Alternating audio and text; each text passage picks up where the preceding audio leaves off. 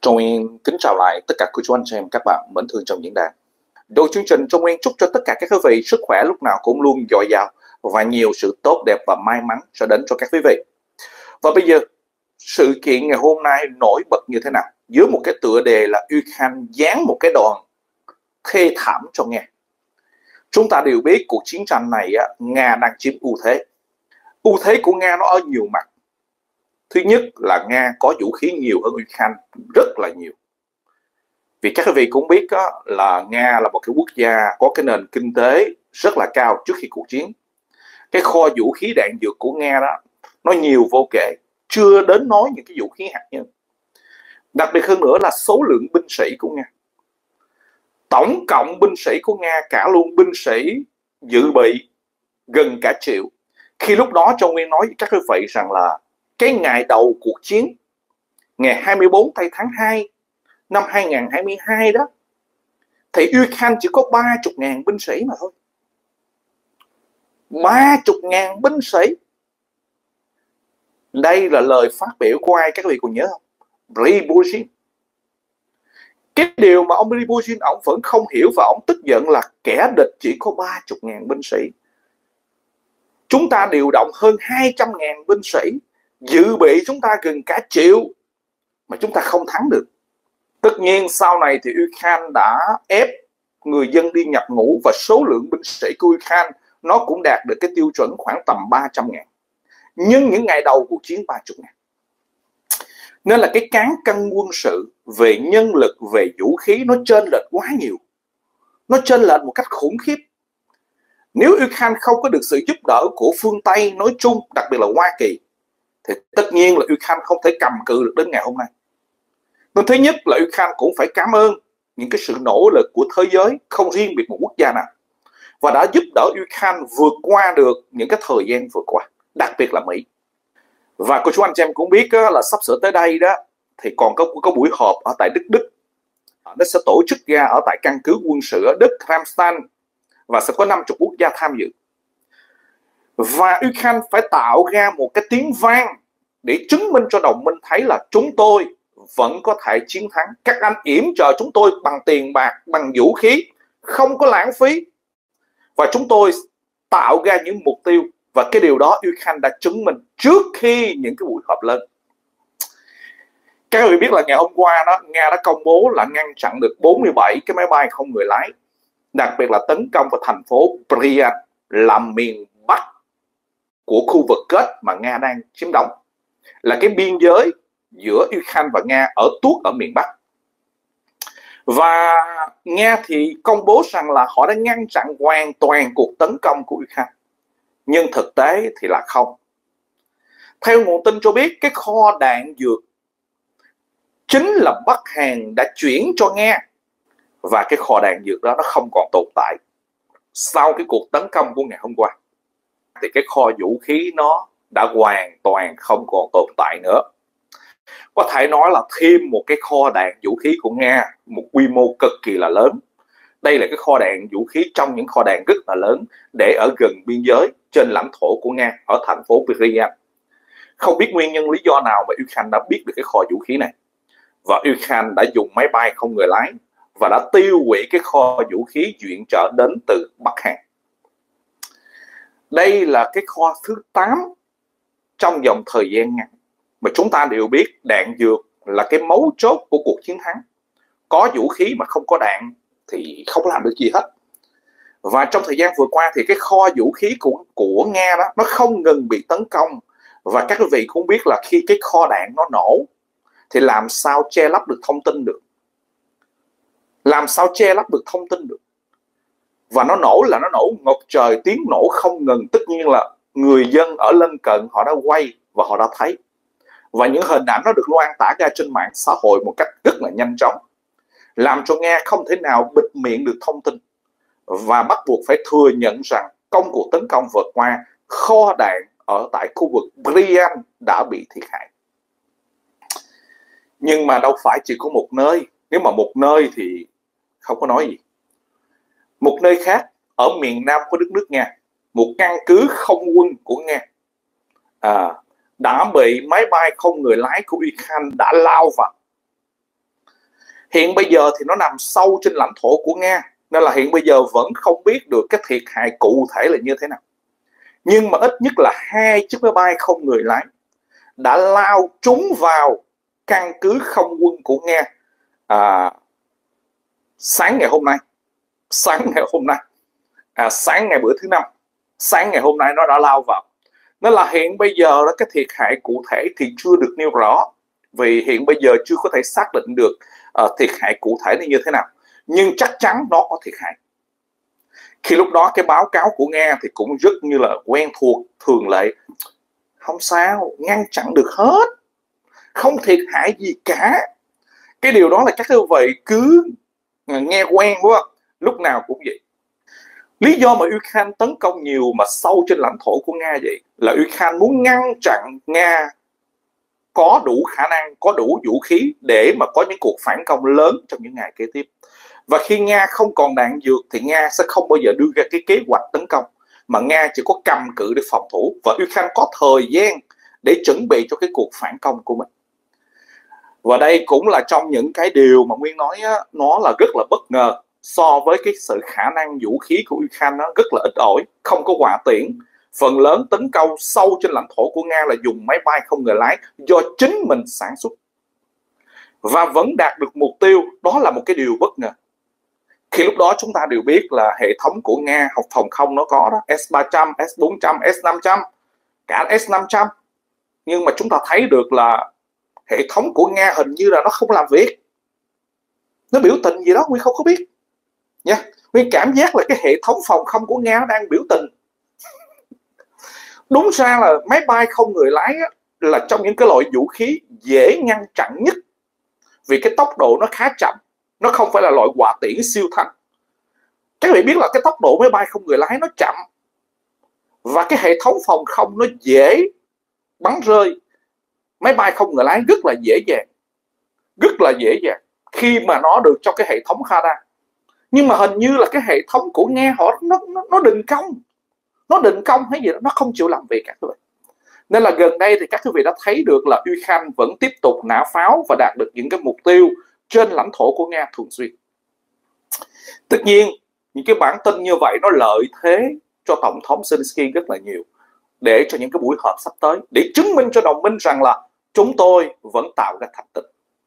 vậy thì bữa nay tổng thống Zelensky đang ở đâu ông ta đang làm gì cái lịch trình của tổng thống Zelensky nó dày đặc nói dày đặc và trong nguyên mạng Pháp chia sẻ cái lịch trình của Tổng thống Zelensky cho các quý vị. Bữa thứ tư, Tổng thống Zelensky ở tại Qatar. Ông ta đã gặp 12 quốc gia. Phần lớn những quốc gia ông ta gặp là những quốc gia trong cái khối Liên Xô cũ. Những quốc gia đang sở hữu vũ khí của Liên Xô. À, giống như là Albania rồi đó, tiếp khác Slovakia, những cái quốc gia đã từng nằm 12 quốc gia Đông Âu những cái quốc gia sườn miền đông ở châu Âu, Đông Âu. Và 12 quốc gia này cái mục đích bữa thứ tư vượt qua tổng thống Zelensky đến đó, mục đích chính là mua vũ khí. Vì những quốc gia này cái nền kinh phí họ không không có mạnh, họ không có tiền để giúp đỡ nhiều. Cũng giống như Khoa Ti giúp đỡ chỉ có 300 triệu từ hai năm mấy tới nay có 300 triệu. Của những quốc gia khác thì không giúp đỡ một đồng nữa. Nhưng họ sẵn sàng bán vũ khí cũ. Nên là cái chuyến đi vừa qua của bữa thứ tư đó là mục đích chính là mua vũ khí. Bữa thứ năm, tổng thống Zelensky đang ở đâu? Ở London, ở Anh Quốc. Thì ờ, ở Anh Quốc thì tất nhiên là phải gặp thủ tướng Starmer, gặp Starmer của Anh Quốc và gặp ai nữa của John James tổng thư ký của Liên minh NATO. Mark Rutte đây là cái cuộc gặp mặt rất là quan trọng. Vì tổng thống Zelensky trước khi có một cái buổi họp với 50 quốc gia, đúng ra sẽ tổ chức ngày 12 tây tháng 10 sắp tới đây. Nhưng hiện bây giờ nó đã bị đình lại chút nữa, nguyên sẽ nêu lên lý do nó định. Nhưng nó sẽ có, nó sẽ có thôi, nó bị tạm thời định lại nhưng nó sẽ có. Thì tổng thống Zelensky phải thuyết phục những đồng minh thân cận của mình trước đã và cái chuyến đi tại London nó cực kỳ là quan trọng cho phía bên Ukraine nên là hiện bây giờ thì tổng thống Zelensky đang họp với phía bên chính quyền của Anh Quốc và với tổng thư ký của Liên minh NATO. Sau khi bữa nay kết thúc thì ông ta sẽ bay qua những cái quốc gia khác. Italy, Italy của chú anh chị ông ta sẽ qua bên Ý. Ý thì tất nhiên là không thể nào tránh khỏi và không gặp chính phủ của Ý, đó là bà Meloni. Bà Meloni. Ý cũng giúp đỡ Ukraine nhưng khá nhỏ chứ không phải mưu lớn nhưng nó rất là quan trọng Ngoài gặp chính phủ Italy là bà Meloni thì Tổng thống Zelensky sẽ đến Vatican gặp Đức Giáo Hoàng. Khi gặp Đức Giáo Hoàng xong và chính phủ Ý xong thì cái lịch trình kế tiếp đó là Pháp. Đó mới là Pháp. Sẽ gặp Macron, Olaf qua Đức, Pháp, Đức. Nói chung một cái chuyến công du khá dài. Nó kéo đến tới ngày mười mấy tây tháng 10 từ bữa thứ tư mỗi ngày ông ta sẽ đến một quốc gia đã từng những quốc gia yểm trợ cho mình. Trong đó có những quốc gia cường mạnh nhất tại châu Âu Anh Quốc Pháp Đức Ý. Tại sao phải đi một chuyến dài như vậy? Vì trước khi có một cái buổi họp uh, lớn với 50 quốc gia thì tổng thống Zelensky cần một cái sự ủng hộ của những quốc gia cường mạnh và thuyết phục những quốc gia này trước trước khi thuyết phục những quốc gia khác. Nên là cái chuyến đi này mục đích là đem cái kế hoạch hòa bình của mình đã trình bày tại Mỹ và bây giờ trình bày cho đồng minh tại châu Âu. Nó đơn giản là vậy. Làm sao thuyết phục được bốn đại quốc gia lớn? Trung Nguyên nhắc lại Anh Quốc, Đức, Pháp, Ý. Bốn quốc gia là bốn trụ cột quan trọng nhất tại châu Âu thành viên châu Âu 27 quốc gia. Thật, nhưng những quốc gia khác không đủ mạnh về khí tài quân sự, cũng không đủ mạnh về vấn đề kinh tế. Bốn quốc gia này vẫn là bốn quốc gia chủ chốt của châu Âu.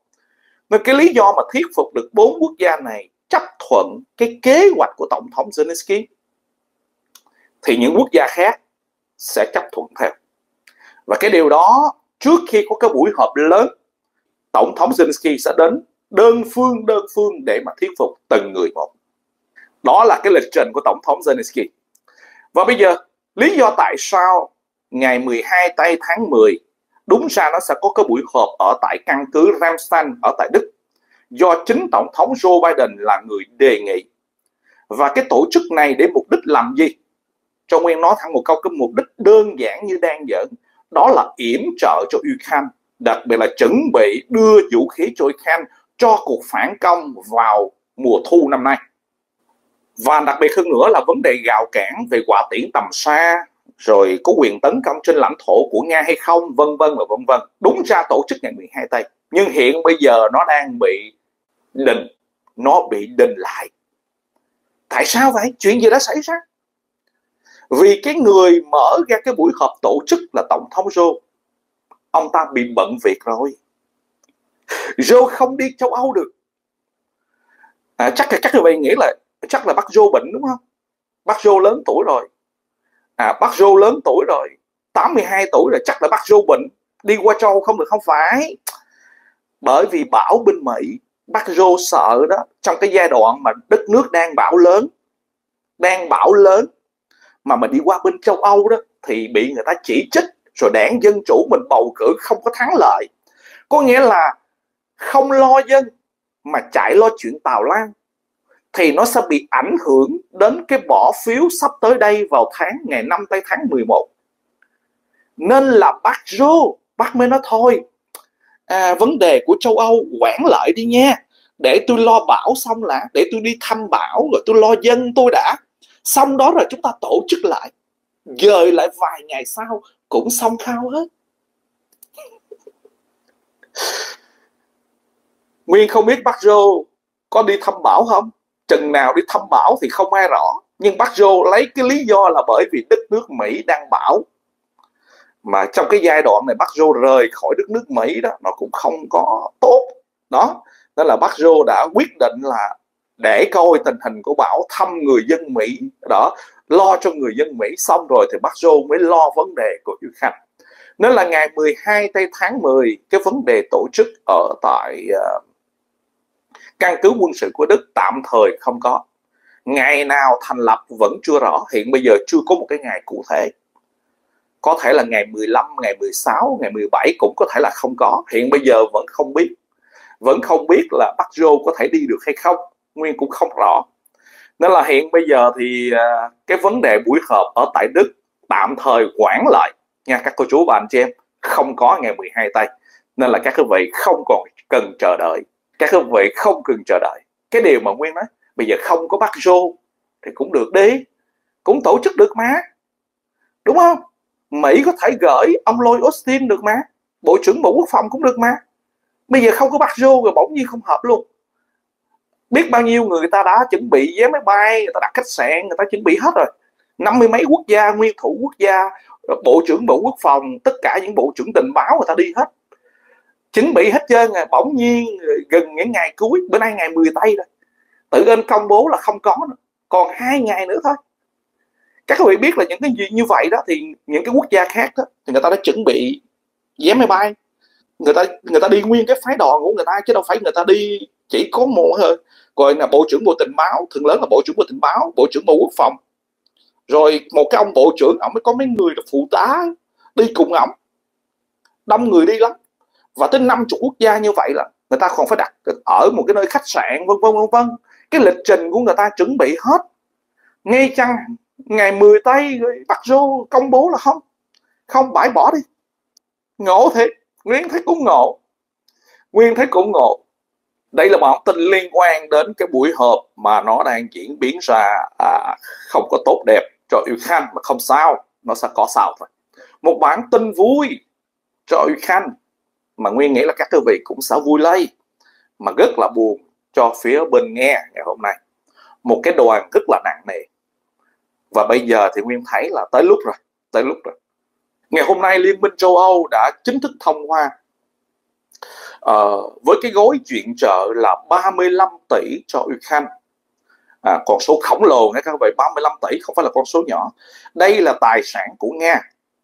Đây là số tài sản của Nga đã bị đóng băng. Liên minh châu Âu không phải cho, nhưng mà là cho mượn, cho Ukraine mượn.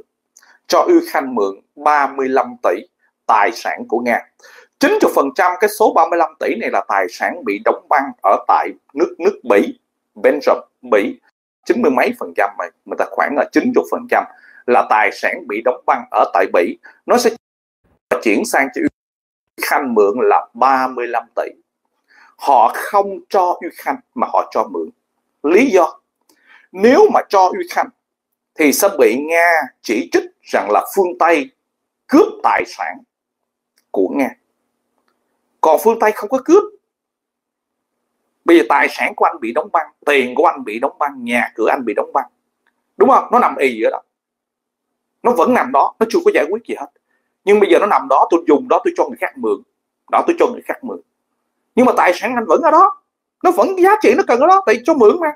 Nên Ukraine sẽ nhận được 35 tỷ 35 tỷ này tất nhiên là sẽ mua vũ khí mua vũ khí uh, mua nhiều thứ.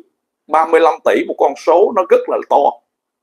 Dùng tiền của Nga mà đánh Nga thì nó sướng ôi là sướng.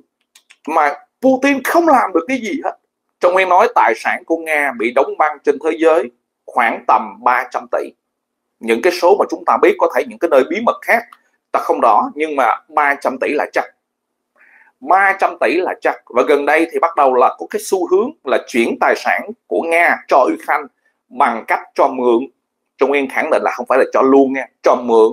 Tương lai chiến tranh kết thúc nền kinh tế anh phát triển anh trả lời đó, cho mượn. Tại sao châu Âu và Hoa Kỳ phải làm điều này? Thứ nhất là bởi vì giúp đỡ Ukraine càng ngày càng nhiều cái nền kinh phí của cá nhân quốc gia hay là cái tổ chức tập thể nó cũng cạn kiệt. Tiền mà các quý vị xài hoài nó cũng hết.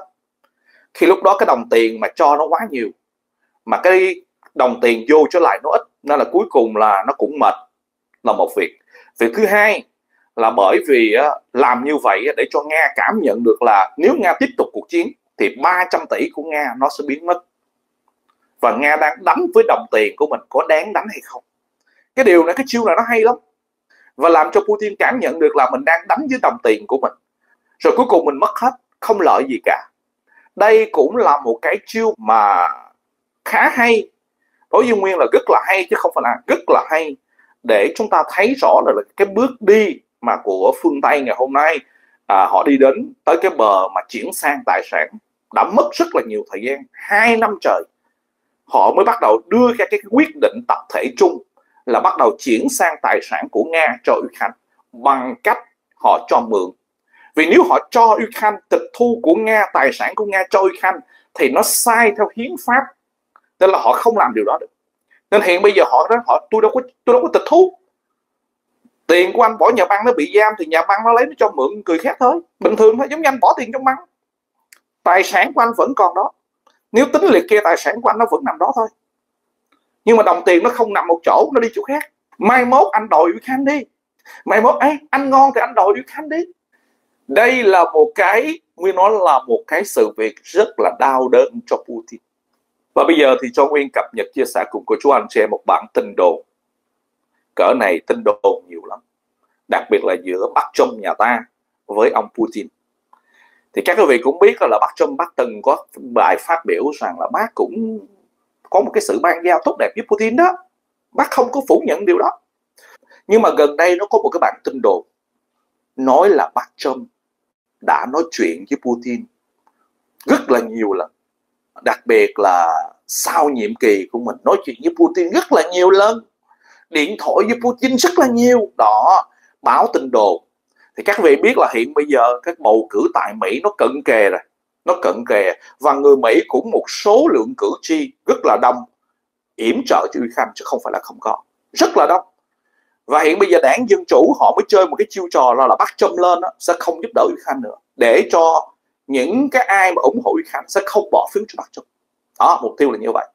Thì gần đây họ tung ra một cái tin đồn rất rất là lớn là bắt trong điện thoại đồ nói chuyện với Putin đồ. Ô dữ lắm dữ lắm thì đầu tiên nhất thì phía bên ờ, đại diện cho tranh cử của bác Trump đã khẳng định điều đó không có điều đó không có. À, tất nhiên là phía bên bác Trump nói thì chẳng có ai tin. Thì ngày hôm nay điện Kremlin đã nói một câu thêm nữa là cái vấn đề nó không có. Giữa hai nhà lãnh tụ đó tất nhiên là trong cái nhiệm kỳ của Bắc Trump á, thì có nói chuyện về vấn đề ngoại giao của đất nước. Nhưng sau khi Bắc Trump không còn làm tổng thống nữa thì không có bất cứ một cái cuộc nói chuyện trực tiếp nào của hai người cả. Và cho rằng là Bắc Trump à, với à, Putin có cái đường dây mập mờ nào đó đặc biệt là trong cái giai đoạn bầu cử thì Nga cho rằng không có. Chính Nga cũng phủ nhận điều đó. Tất nhiên là Nga phủ nhận thì người ta nói ôi Putin nói như vậy là giúp đỡ ông Trump thôi. Nói chung nói cách nào cũng không làm hài lòng ai cả cái người mà ghét bắt Trump rồi thì các quý vị có giải thích một ngàn lẻ một lý do để bảo vệ bắt Trump thì người ta vẫn cho là nó không lọt lỗ tai và người ta cho là bịa đặt, là cho các quý vị là cuồng Trump thôi. Nên là giải thích sao nó cũng không bao giờ được. Nhưng Nguyên chỉ đưa bản tin là Điện Kremlin đã xác nhận chuyện đó không có. Như vậy thôi, chứ mà Nguyên nó bây giờ giải thích thì Nguyên nghĩ là giải thích cách mấy cũng không cách nào giải thích được vì người ta không có chấp nhận nói đến đây thì chúng ta đều biết là Ukraine ảnh hưởng rất là nhiều đến cái cuộc bầu cử sắp tới đây. Ít hay nhiều thì chúng ta cũng biết là Ukraine sẽ bị ảnh hưởng. Không biết tương lai ai sẽ làm tổng thống của Mỹ. Khi lúc đó thì Nguyên nói là bây giờ chưa đến một tháng nữa, cái kết quả chúng ta sẽ biết. Phía bên Ukraine họ cũng đang rất là lo, rất là lo. Lo trong cái bối cảnh kế tiếp nó sẽ diễn biến như thế nào và bây giờ thì cho Nguyên cập nhật chia sẻ cùng cô chú anh chị em những bản tin liên quan đến tình trạng chiến trường. Chiến trường hiện bây giờ Ukraine và Nga như thế nào? Ngày hôm nay thì ông Nga ông mới à, đưa ra một cái báo cáo mới nữa. Thật hay giả thì thực tế là không ai kiểm chứng được hết. Là trong khu vực kết ông ta nói là sau cái nỗ lực của Nga phản công ở khu vực kết đánh lùi Ukraine ra khỏi, họ đã chiếm được hai ngôi làng ở khu vực kết khu vực kết họ mới vừa công bố là họ chiếm được hai ngôi làng. À, đang cái đà đánh đuổi Ukraine rời khỏi khu vực trên lãnh thổ của họ. Ngày hôm qua thì họ cũng công bố là họ lấy được hai ngôi làng ở khu vực Donetsk là cái khu vực mà hiện bây giờ mà cái khu vực giao tranh khá là khốc liệt ở gần Porov. Nói chung là họ lúc nào cũng đưa tin như vậy hết nhưng thực tế thì nhiều khi nó không có à, lâu lâu á, thì cái bản tin của nga nó mới có phần chính xác. Chứ phần lớn trong nguyên nó thẳng nha tin của nga đó tin nghe đó mà tin nghe đọc mà tin đó thì heo nái nó cũng biết leo cây. Nhưng mà lâu lâu thì tin họ cũng chính xác nên là mình cũng phải thận trọng trong bản tin. Nên là nguyên cũng không dám khẳng định là cái bản tin này nó thật hay giả. Vì nguyên chưa có kiểm chứng qua được những cái thông tin ở những cái địa phương khác hay là báo chí của Ukraine hay là báo chí của nước ngoài nên nguyên cũng không rõ được là cái khu vực kết nga có lấy được hai ngôi làng hay không hay chỉ là cái bản tin bịa đặt nói lên để cho sĩ khí quân đội ở khu vực có cái niềm tin. Các vị biết là chiến tranh chúng ta có chiến tranh truyền thống. Và cái vấn đề mà bịa đặt thông tin đó, nó thường xuyên xảy ra. Hai bên chưa chắc bên nào cũng nói thật. Ukraine và Nga giống nhau. Chỉ có điều là cái số mà kêu là thông tin giả của Ukraine nó nó ít hơn nhiều vì Ukraine được cái sự kiểm chứng đến từ cả trăm mấy quốc gia. Tại Kiev, nó có một trăm mấy tờ báo khác nhau trên toàn cầu. Và chúng ta có thể tìm kiếm những tờ báo khác để làm kiểm chứng một cách dễ dàng. Thí dụ Ukraine đưa một cái bản tin nào nó không thật, thì không lẽ 100 tờ báo nó đều viết giống nhau như vậy? Nước tự do mà. Mỗi người họ sẽ phanh phui ngay lập tức. Nên là chúng ta dễ kiểm chứng, còn nga thì không. Thông tin của nga là thông tin một chiều duy nhất nó không có bất cứ một cái trung gian nào để mà kiểm chứng thông tin hết. Nên là nhiều khi nghe đưa tin mà chúng ta cũng không thể đoán được nó đâu thật đâu là giả cả. Nên đây là báo cáo của nga ngày hôm nay trong cái việc là nga đã quên nói là thành công lấy được tổng cộng là bốn ngôi làng trong vòng hai ngày hai ngôi làng ở khu vực kết và hai ngôi làng ở khu vực Donetsk. Ngoài ra thì uh, vấn đề của Ukraine thì như thế nào? Trong cái bối cảnh ngày hôm nay thì các quý vị biết là Ukraine đang chuẩn bị lót đường để tấn công sâu trong lãnh thổ của Nga, đặc biệt là những thành phố ở miền Bắc trong đó nó có thành phố Bryansk cái kho đạn mới vừa nổ, và thành phố Benhot là ở miền Nam kết đó. nên là bây giờ thì Ukraine lại tiếp tục chuẩn bị cho cái cuộc đưa quân sang biên giới mà trước khi làm điều đó thì Ukraine đánh hậu cần, đánh vào hậu cần của những hai thành phố này. Sau khi hậu cần kẻ địch bị lung lay, thì cái kế hoạch Ukraine rất là rõ, không có giấu giếm là mở rộng mặt trận ở miền Bắc, trên lãnh thổ của Nga, và tạo cái dùng điểm, cái là dùng điểm an toàn trên lãnh thổ của Nga, và giao tranh ở miền Bắc không còn tại lãnh thổ Ukraine nữa, mà từ giây phút này sẽ đánh trên lãnh thổ của Nga. Đó là cái kế hoạch của tổng thống Zelensky cũng không có giấu giếm gì cả tuy rằng Nga đe dọa nhất là nhiều, nhưng Ukraine vẫn thực thi cái điều đó. Và lực lượng Ukraine, đặc biệt là lực lượng Nga, thân Ukraine, họ đã vượt qua biên giới Benhot đã lâu rồi, nhưng số lượng chưa đủ mạnh để có thể tạo ra những thành tích đáng kể. Chỉ là ở cặp biên giới, sát biên giới, qua biên giới, lùi lại, qua biên giới, lùi lại. Không không quá, không đạt được quá những cái mục tiêu lớn.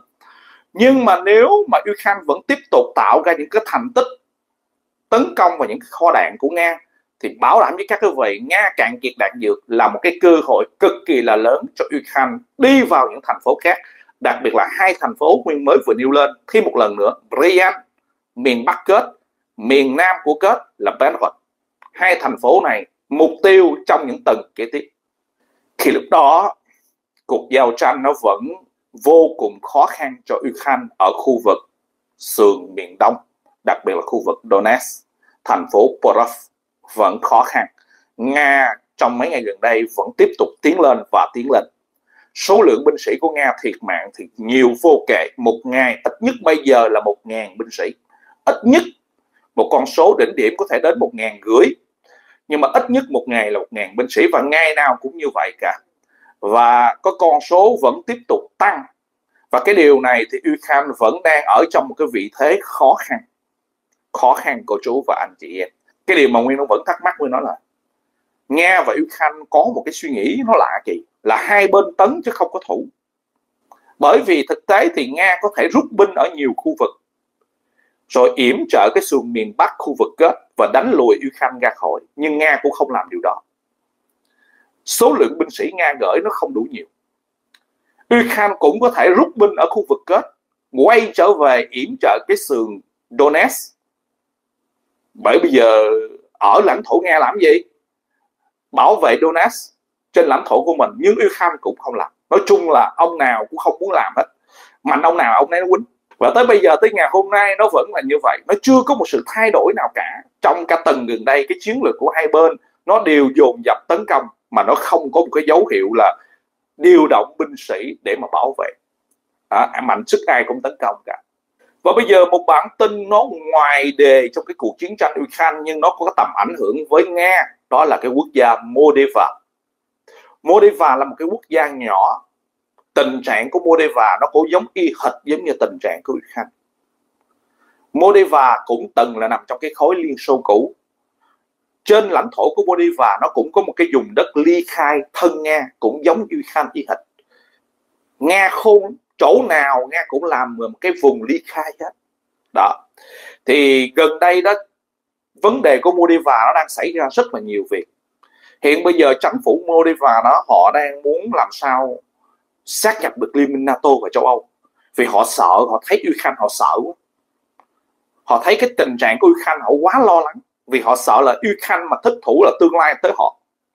Chắc chắn là tới họ nên là gần đây á, thì chính phủ của Moldova họ đang thúc đẩy với liên minh châu Âu rằng á, là tôi cần tôi cần chúng tôi nguy hịch nguy kịch thì hiện bây giờ đó ở Moldova đang sắp sửa vào trong cái giai đoạn bầu cử và hiện bây giờ thì Nga đang cố tình giật dây từ áp lực từ nội bộ chính trị dùng quyền lực vũ trang để mà đe dọa để cho ép cho Moldova không có cơ hội sát nhập vào Liên minh châu Âu hay là NATO trong những ngày kế tiếp.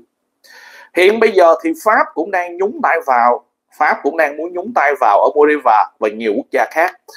Vì bảo vệ Ukraine không thành công thì ít nhất cũng bảo vệ những quốc gia khác không gớt vào chiến tranh.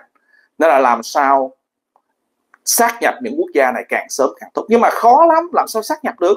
Vì họ có cái khu vực ly khai. Mấy cái khu vực nghe nhỏ xíu ly khai với đất nước ta vậy nè. Cả chớn lắm ngay chỗ nào cũng có, Georgia cũng có Moldova cũng có, chỗ nào cũng có ly khai hết. Đó là một cái vùng điểm mà để Nga lấy cái cớ để xâm lược quốc gia khác. Đụng ly khai là đụng Nga đụng Nga là Nga quýnh. Đó, thí dụ là như vậy. Đó. Và cái điều đó thì là Nga đã làm cái điều đó ở khắp nhiều quốc gia trong khối Liên Xô cũ trong thời gian vừa qua. Đây là bản tin nhỏ liên quan đến Moldova để cho các vị biết là cái âm mưu xâm lược của Putin nó không phải là mới đây nó đã có lâu.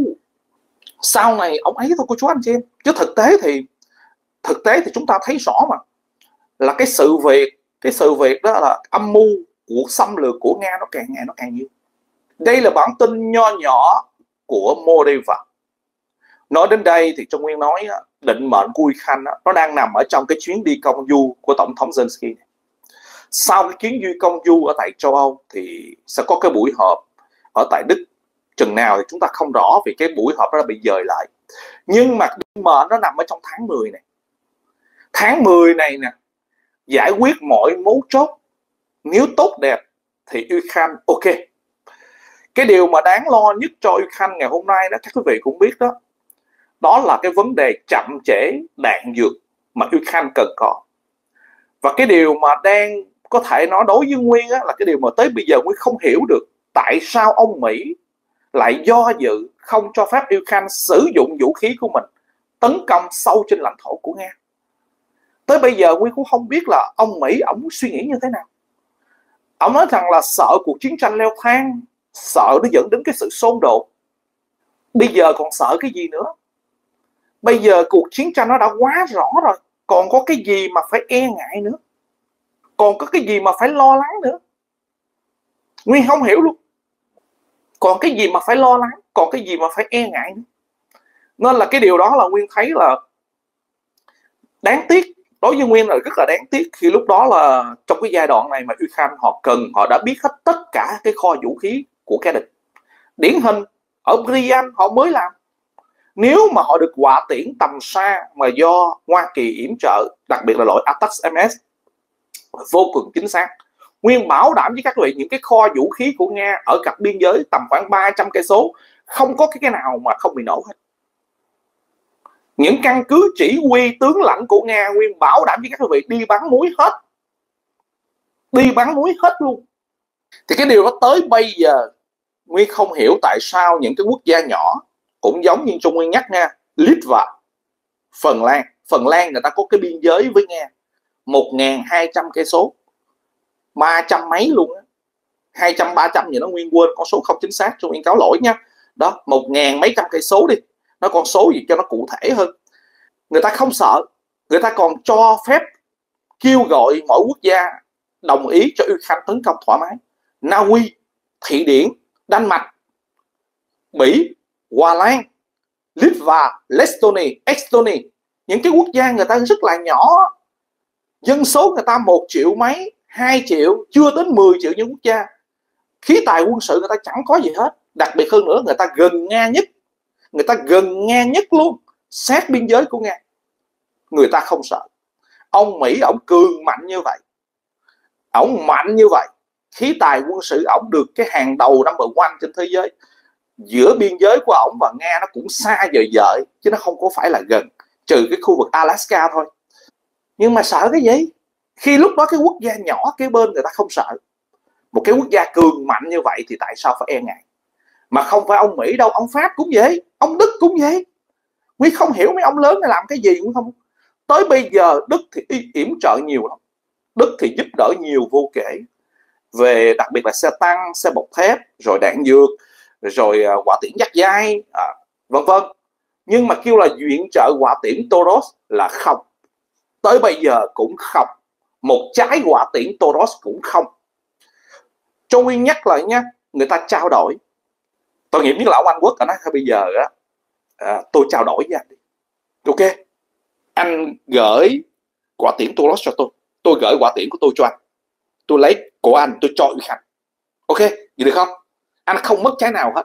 Chỉ có điều là tôi chúng tôi muốn cho nga biết là cái vũ khí của đức mạnh cỡ nào tốt cỡ nào tới mức độ mà ông anh quốc ông đem trao đổi luôn. Có nói là bây giờ anh gửi 10 trái quả tiễn cho Ukraine anh không muốn gửi trực tiếp cho cái hiến pháp của anh, anh trao đổi với tôi. Tôi với anh trao đổi vũ khí 10 trái quả tiễn. Vâng anh đưa cho tôi là tôi đưa cho Ukraine vì là anh không có sai hiến pháp của anh mà anh cũng không mất tiền. Quả tiễn của anh nó đổi thành quả tiễn của tôi thôi. Đó. Quả tiễn của anh bây giờ đổi thành quả tiễn của tôi thôi. Gì cũng không cho. Tuyệt đối không là không nên là nhiều khi nguyên cũng ờ, rất là thắc mắc mấy ông lớn. Ông pháp cũng đâu có. Ông pháp cũng đâu có cho. Ông pháp viện trợ quả tiễn nhưng cũng không cho phép bắn vào trong. Thì có tác dụng gì trời? Anh viện trợ tôi một cái loại quả mà anh cho tôi bắn trong 100 cây số thì thôi. Viện trợ tôi quả tiễn trăm cây số thôi. Cũng giống như xe hơi vậy đó. Cho chạy ờ, tốc độ. Nhưng mà đường chạy nó cho chín chục xe chạy được trăm sáu trăm tám, hai trăm gì đó. Nhưng mà đường cho chín chục là chạy chín chục thôi. Khổ không? Nói đến đây thì để cho các vị biết là cái sự do dự đó, nó làm cho Ukraine bị thiệt hại rất là nhiều. Và cái sự do dự càng lâu thì Ukraine thiệt hại càng nhiều. Chúng ta đã thấy rõ đúng ra nếu mà những cái gạo cản đó nó không có từ những ngày đầu cuộc chiến, thì nguyên tin chắc tình trạng cuộc chiến nó thay đổi lớn. Và gần đây nga cũng sẽ không bao giờ chiến thắng gần đây thì nga chiếm ưu thế nga đã đánh lùi Ukraine ra khỏi nhiều cái nơi phòng thủ uh, giống như là Vuliga nè.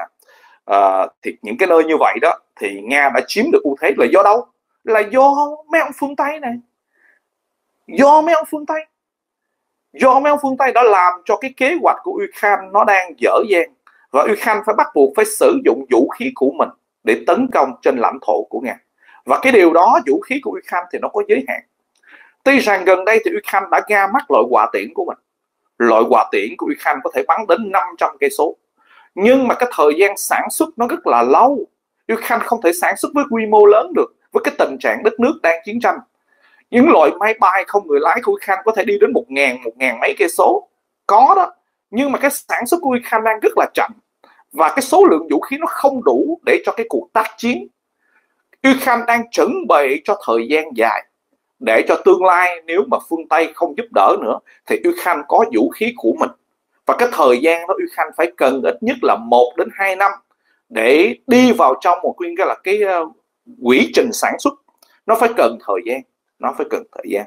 Nên đó là cái điều đáng tiếc là là Ukraine có vũ khí, nhưng mà vũ khí Ukraine quá ít, sản xuất quá chậm, không thể nào cung cấp cho cuộc chiến được. Và phải chờ thời gian khi lúc đó thì những cái quốc gia cường mạnh nó lại do dự do dự và do dự. Nên là mình mong rằng là cái buổi họp sắp tới đây nó sẽ diễn biến ra vào Đức. Bây giờ ngày cụ thể thì không còn biết nữa, nhưng mong rằng nó sẽ mở những cái gào cản này và nó sẽ giúp đỡ Ukraine tạo ra những cái thành tích lớn lao hơn.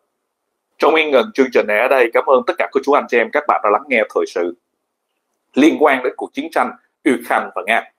Bye bye các quý vị, chúng ta gặp lại sau.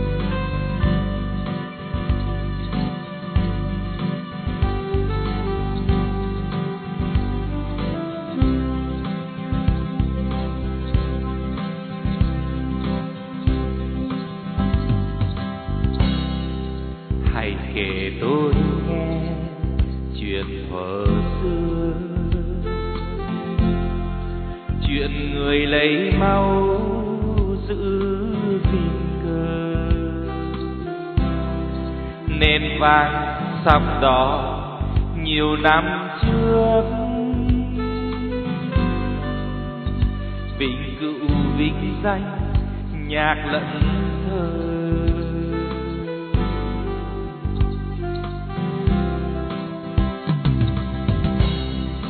Hãy kể tôi nghe những chiến công.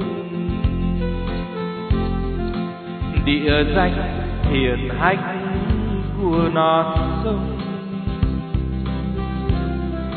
Từng ghi chứng kiến bao thành bước xâm lăng lũ dở hồng.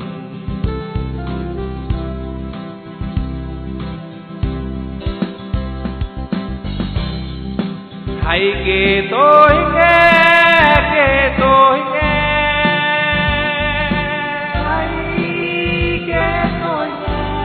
Để được tri ân tưởng tiếc về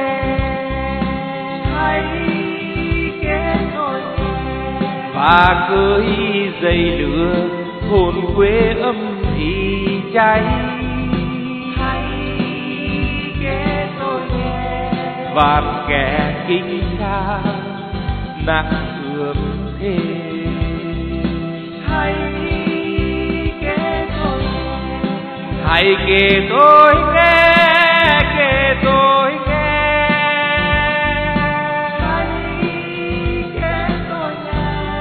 cùng nhắc cháu con những ước thề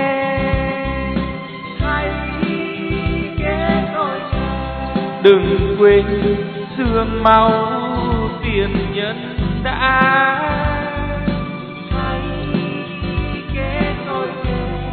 Bất khuất bao đời dốc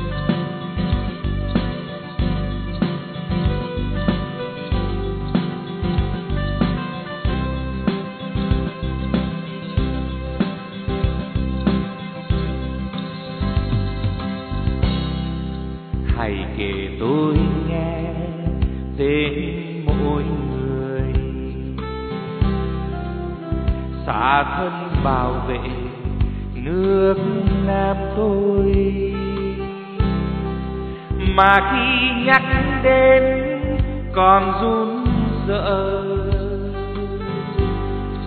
Bạo chúa vô tâm khuấy góc trời.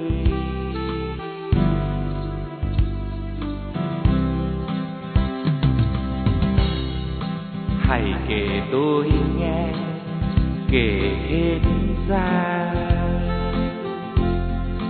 Bờ áo mẹ nuôi trái hiên nhà. Nơi nào lưu vết thiên hùng sử triệu đấng anh tài vị quốc gia.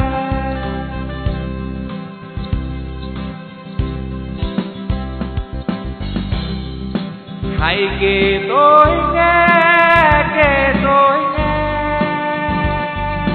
hãy kể tôi nghe để được tri ân tưởng tiếc về. Hãy kể tôi nghe và khơi dây lửa hồn quê âm thì cháy.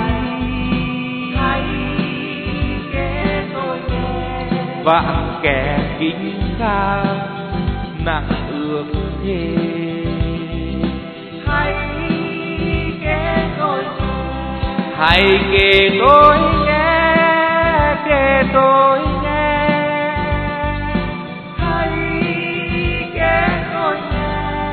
Cùng nhạc cháu con những ước thề hãy kể tôi nghe. Đừng quên đừng quên thương máu tiền nhân đã hãy kể tôi nghe bất khuất bao đời dốc chiến tranh hãy kể tôi nghe hãy kể tôi nghe